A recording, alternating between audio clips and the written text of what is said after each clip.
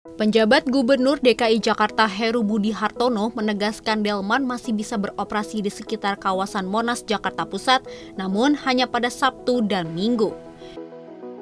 Heru menyebut tidak ada pembatasan jumlah delman yang beroperasi pada Sabtu dan Minggu, hanya tergantung ruang yang tersedia di sekitar Monas.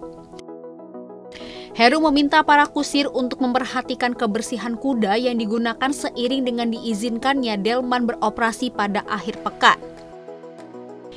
Sebelumnya, pemerintah kota administrasi Jakarta Pusat akan melarang delman beroperasi di kawasan Monas. Hal itu berdasarkan surat edaran wali kota nomor 36 tahun 2016 pengoperasian delman di kawasan Monas memang dilarang.